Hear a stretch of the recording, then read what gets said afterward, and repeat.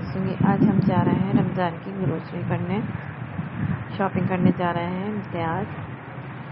जैसा कि आप लोग को दिख रहा है, यहाँ पर ट्रैफ़िक बहुत जाम है, बहुत ज़्यादा रश होता है शाम के टाइम मार्केट वगैरह में बहुत रश है, जिसकी वजह से बहुत ट्रैफ़िक जाम होता है। हमने सोचा कि क्यों ना रमज़ान से पहले इसकी शॉपिंग कर लें, फिर एंड में बहुत ज़्यादा रश हो जाता है, जिसकी वजह से ज़्यादा शॉपिंग नहीं कर पाते।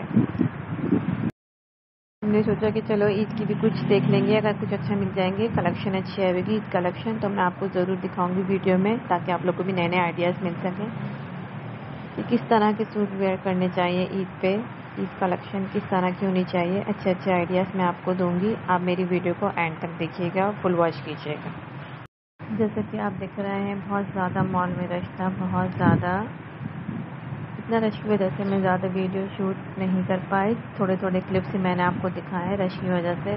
बहुत से लोग होता है ना कि वीडियो में वीडियो में नहीं आना चाहते तो मैं इनको बिल्कुल अवॉइड करती हूँ, बिल्कुल नहीं देती। सिर्फ़ मैंने आपको ये चीज़ें दिखाई हैं, रमज़ान की ग्रोसरी शॉपिंग दिखाई है आपको। इस वजह से। जैसे कि पता है, रमज़ान की शॉपिंग सब लोग ही कर रहे हैं, ज़्यादा से ज़्यादा ख़रीदारी कर रहे हैं।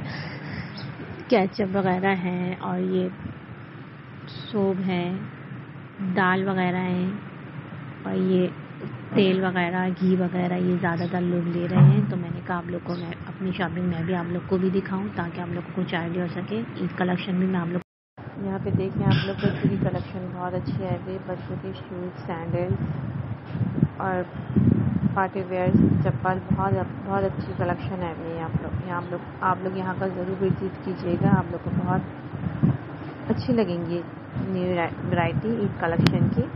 बहुत ज़बरदस्त आएँगे